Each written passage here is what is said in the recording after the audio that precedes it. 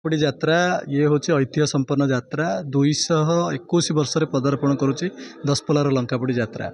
ତେଣୁ ତାକୁ ବହୁ ଆଡ଼ମ୍ବରରେ ପାଳନ କରିବା ପାଇଁ ପ୍ରଶାସନିକ ଅଧିକାରୀ କଲେକ୍ଟରଙ୍କ ଠାରୁ ଆରମ୍ଭ କରି ଏସ୍ ପି ଏବଂ ଅନ୍ୟାନ୍ୟ ବିଭାଗୀୟ ଅଧିକାରୀମାନେ ସ୍ଥାନୀୟ B D O tahsildar executive officer ଏବଂ ସମସ୍ତ ଜନପ୍ରତିନିଧି ବ୍ଲକର ଚେୟାରମ୍ୟାନ୍ ଏନ୍ଏସିର ଚେୟାରମ୍ୟାନ୍ ସମସ୍ତ ନିର୍ବାଚିତ ପ୍ରତିନିଧି ଏବଂ ଏହି କମିଟି ଏହି କାର୍ଯ୍ୟକ୍ରମରେ ଯେଉଁମାନେ ସଂଶ୍ଳିଷ୍ଟ ଥାଆନ୍ତି ସମସ୍ତଙ୍କୁ ନେଇ ମିଟିଂ ଦୁଇ ତିନି ଥର ହୋଇସାରିଲାଣି। ଆଜି ମଧ୍ୟ ଅନୁରୂପ ଭାବରେ ପ୍ରଶାସନିକ ଅଧିକାରୀ ଏବଂ ସମସ୍ତ କର୍ମକର୍ତ୍ତା ଏବଂ କମିଟିର ସଦସ୍ୟ ସଦସ୍ୟମାନଙ୍କୁ ନେଇ ମିଟିଂ ହୋଇଥିଲା।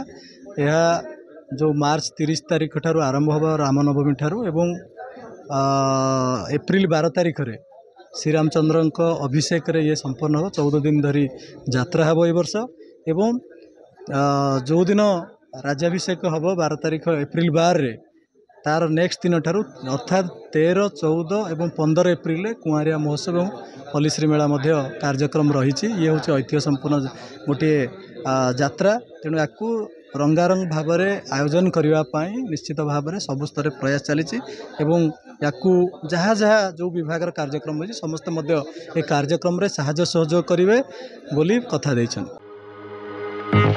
Thank you.